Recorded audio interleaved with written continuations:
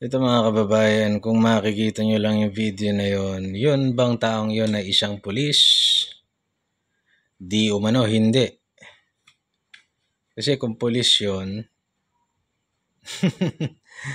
di ba, hindi naman nila magaganon yun. So, ibig sabihin, may mga nakano, nakanotice na, ba't may hindi pulis? Naka-uniforme ng pulis.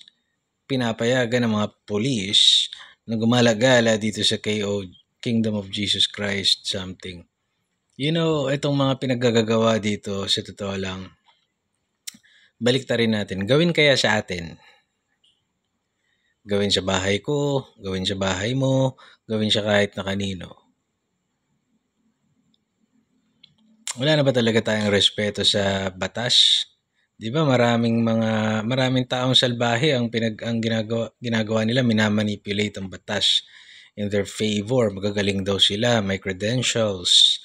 Ah, alam daw nila yung batas. Kung ay parang pambababoy sa batas yung pinaggagawa nitong mga tagapagpatupad ng batas. Bakit ganoon? Alam nyo,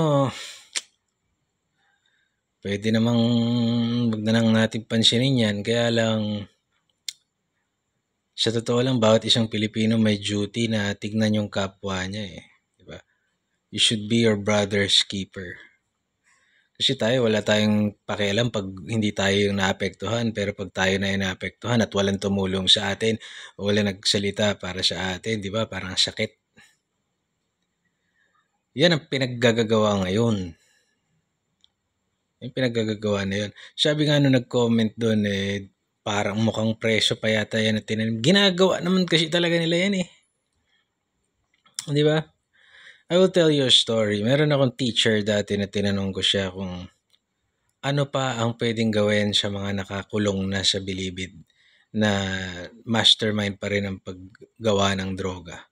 Ang sabi niya sa akin, wala kang proof dyan sa sinasabi mo. Wala kang ganyan dyan. Kasi di ba, end game na dapat pagka nakulong na, nagsiserve na ng sentence, end game na eh. Pero wala eh. Ito mga pulpul ng mga tao, sa kapangyarihan, ginamit pa. Kinasangkapan pa itong mga nagsiserve na dapat ng kanilang sentensya. And after niya akong pinahiya nung tinanong ko yon pinahiya niya ako, wala daw akong evidence para sabihin yon Lumabas itong panahon ni Delima.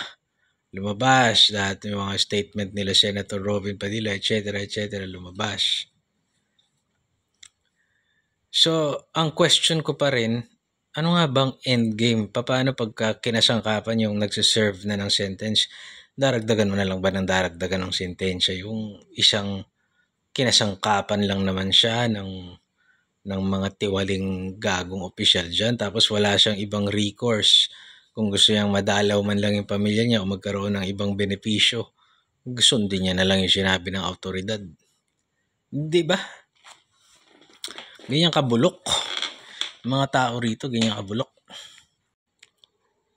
At doon naman sa mga tao, opisyal, autoridad, o kung sino pa mga hayop kayo na nagtatanim kayo ng ebidensya sa kapwa, ng kawalang hiyaan ninyo, gagawa nyo ng kasalanan, yung taong wala namang kasalanan, tataniman mo ng droga, tataniman mo ng kung ano-ano.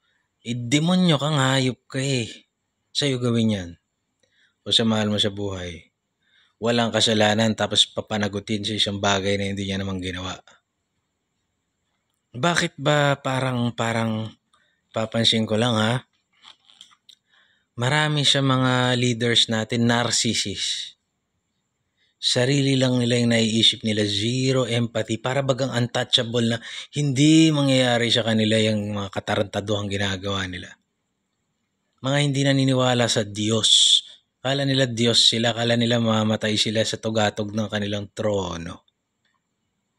Yung, nakakagigil kayo mga hayop kayo eh.